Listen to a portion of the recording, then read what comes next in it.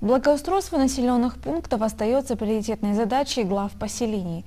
Помимо уборки территорий населенного пункта в обновлении нуждается также дорожное покрытие улиц. 31 марта в Ауле Геруха проводились работы по планировке дорожного покрытия улицы Новая. В работе были задействованы один грейдер и один КАМАЗ. По словам главы поселения Руслана Брафтова, в дальнейшем будет проводиться реконструкция всех улиц. Средства на эти работы взяты из Дорожного фонда.